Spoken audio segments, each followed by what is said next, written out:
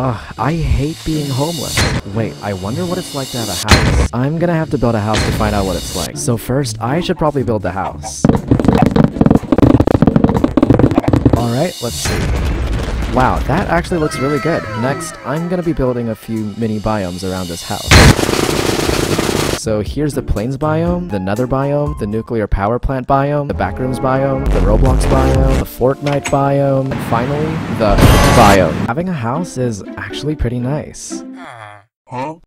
Oh, there's a person here. Wait, I wonder, who is the best person in the world? In order to find out, I have to trap every single person on Earth. And I've found that the best way to do this is with a tank. Please do not panic. This is for a YouTube video. Next, I'm gonna build the containment center to put my prisoners in. This looks so good. Now it's time to transport the prisoners in here. This might take a while. After six years, I finished my project of trapping all 7 billion people on Earth. And you know what? There is no best person. Everyone deserves equal love and respect.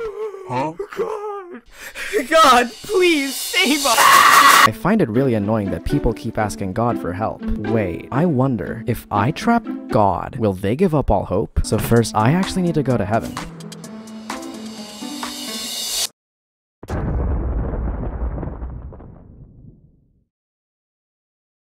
Sir, there's someone at the front gates. Wait, what? Hey, there's a trespasser! We're gonna send you to hell now, so. What? Mortal, have you come here to challenge me? So now that I trapped God, I need to build a few mini What are you biomes. doing? Stop building your small biomes, you're ruining heaven, what's wrong with you?